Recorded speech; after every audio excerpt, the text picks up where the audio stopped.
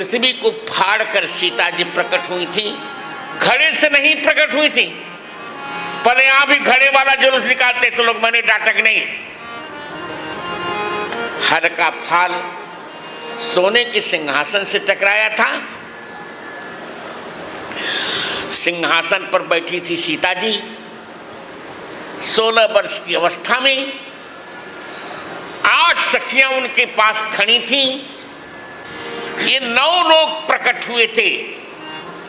बैसाख शुक्ल नवमी के दिन ये भी अफवाह फैलाई जा रही है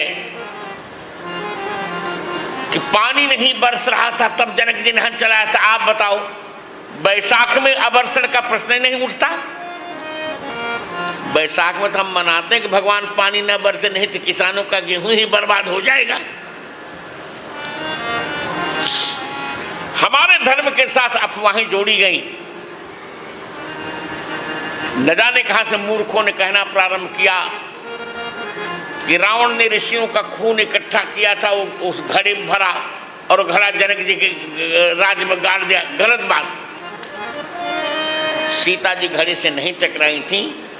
सुंदर सिंहासन, कृतबर आसन।